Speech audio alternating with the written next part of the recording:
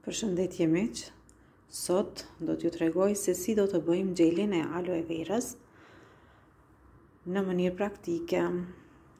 Për të gjithë ata, të cilët nuk e dinë se çfarë është lulja e aloe verës, këtu pranë kam dy lloje të lulës aloe vera. Njëra është kjo dhe tjetra është kjo. Mirëpo, për ta bërë xhelin e aloe verës, unë do ta përdor këtë lulen këtu, sepse kjo ka më shumë xhel. Mirëpo, çfarë duhet të dini para se të bëni xhelin e aloe verës? Së pari, duhet të dini që xheli i aloe verës, apo lulja aloe vera, Do ta shkëpusim një gjethe. Të shohim cilën gjethe.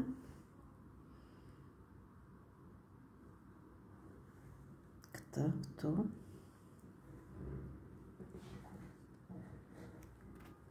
Ose do ta presim me thikë.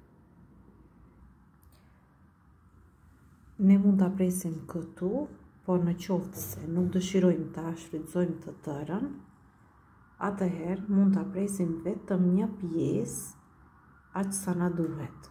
Domethënë çdo ditë nga pak, nëse dëshirojmë ta përdorim të freskët. Por në qoftë se na nevojitet më shumë, atëherë do ta bëjmë prerjen këtu.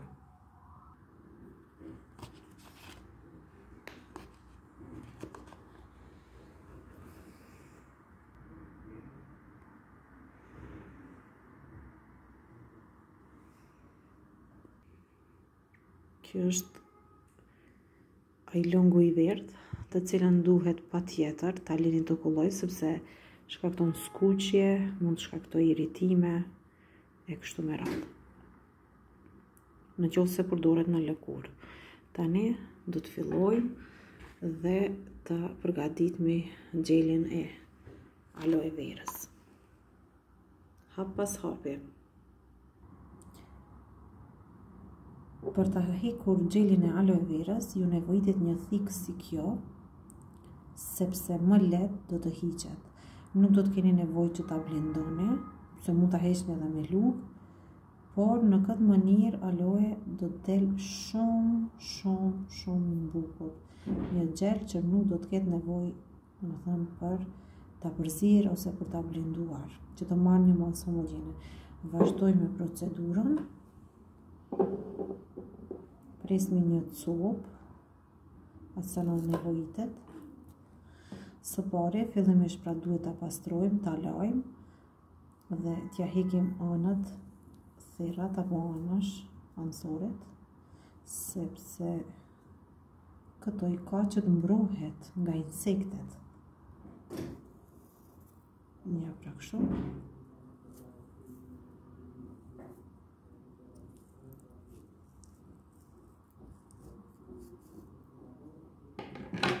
Shikon e të në.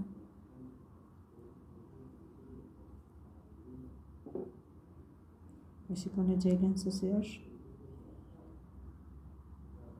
Një xhel i cili ka përmbajtje shumë shumë të mirë, sepse përmban vitaminën A, vitaminën B, C, D dhe vitaminën E. Është mjaft i mirë për lëkurë dhe e bën apo e bën rigjenerimin e lëkurës. i jep lëkurës një freski, i jep lëkurës një bukuri, po ashtu e bën të pastër, do të dukeni më e re dhe më e bukur. Përpos që mund të përdoret për lëkurë, përdoret edhe si ushqim pra mund të hahet apo të pijet si pije, për forcim të imunitetit, mund të përdoret për hemoroide, për shërimin e fytit, po mund të jepet edhe fëmijëve. Mirëpo, sot vetëm do të tregojmë mënyrën se si po e heqim xhelin nga aloe vera. Pra mënyra 100% natyrale. Edhe vetë mund të bindeni. Shikoni.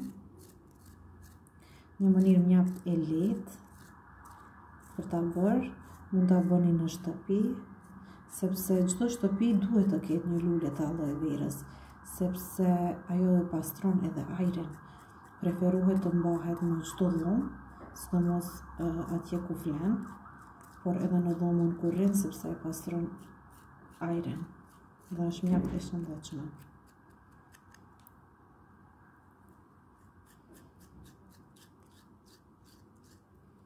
Besoj që kjo video do t'ju pëlqejë. Në qoftë se ju pëlqen, mund të bëni një subscribe, një like apo një share, po mund edhe të komentoni, apo edhe të pytni për gjëra të cilat ju interesojnë. Besoj që në momentin më të duhur do t'ju përgjigjem. Shpresoj që në këtë mënyrë, sado pak, do të informoheni në mënyrën e përgatitjes së xhelit, sepse nga shumë video që kam parë në Youtube, domethënë janë shumica në gjuhën angleze, dhe në gjuhën shqipe kam hasur shumë pak njohuri, prandaj kam vendos që ta bëj publike për të gjithë ju. është mirë të përdoret për ato të cilat kanë puçrra në fytyrë, kanë një lëkurë të thatë, dhe të cilat kanë filluar t'i paraqiten rrudhat, domethënë është një xhel që ndihmon edhe kundër plakjes, kundër paraqitjes së rrudhave në fytyrë. Ja, pra mënyra është mjaft e lehtë. Shpresoj që dhe ju do ta provoni në shtëpi. është kjo aloe vera që përmban më së shumti xhel dhe që unë e përdor shumë dhe e mbaj në shtëpi, në zyrë, në punë, kudo që jeni. Ja. Tani, mund ta shihni që ta shihni ajo është e gatshme për t'u përdorur në këtë mënyrë mund ta përdorni aloe veran në fytyrë apo në dorë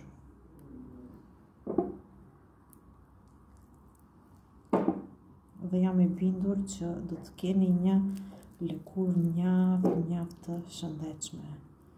Mund ta aplikoni në dorë, në fytyrë, apo në trup, kudo që ju dëshironi.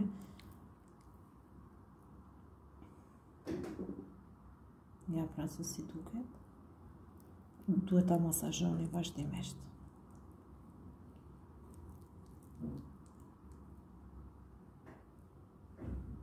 Këtë xhel mund ta mbani në frigorifer për disa ditë deri në një javë apo dhjetë ditë dhe pastaj mund ta përdorni. Ju faleminderit, shihemi në videon e radhës.